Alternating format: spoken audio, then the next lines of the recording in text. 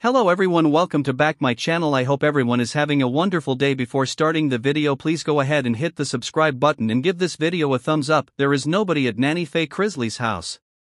Her vanishing act has left Chrisley knows best admirers wondering.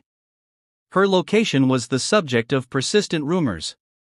Hold on for a little more information. It is widely recognized that Nanny Faye Chrisley is Todd Chrisley's mother. She was the breadwinner for the whole family.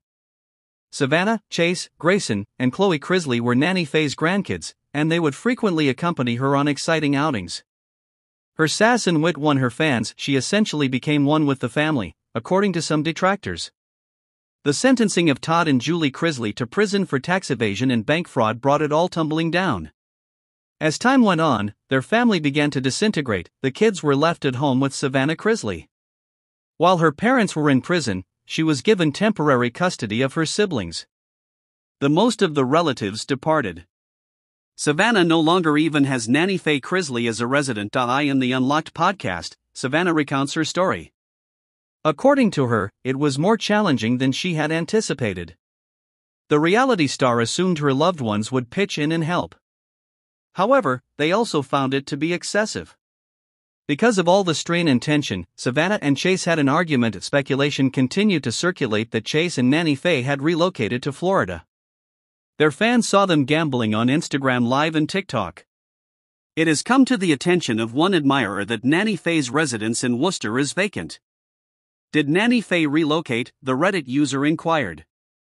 Has anyone left the Worcester house? There are no new records of Nanny's property or any other Chrisley homes, according to the original poster, who called it sketchy. A white mansion in Worcester was bought by Savannah through a trust. Nanny Faye wanted a house with just one story, so she packed up and left. She drew the line at her former residence. On Savannah's podcast, Nanny discussed her relocation these days, she calls an apartment home. When she lost the key to her apartment, she said her neighbors came to her rescue. Savannah and Nanny were packing up her belongings when I saw that she was moving in a story. Left out the location and other details. Who knows? I thought Nanny was going to move in with Savannah. A an ardent supporter said. I thought I read somewhere that Nanny and Chase were relocating to Florida, inquired another person. It was fruitless. Who knows?